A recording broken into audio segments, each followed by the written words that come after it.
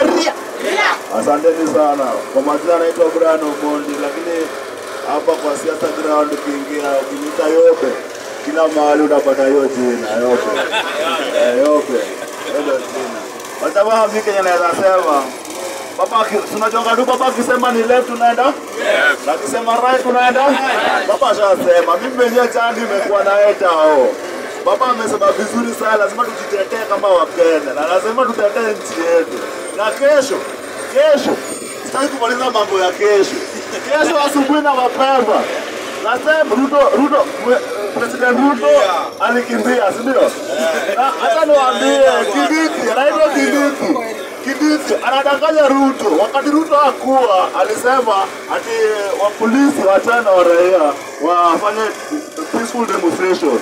Akiona Ruto amerudi, amebadilisha tena, anasema no sarenda. no surrender. Tuko na yeye pia yeye.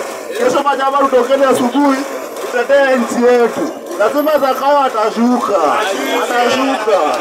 Tunashukuru sana wajamaa.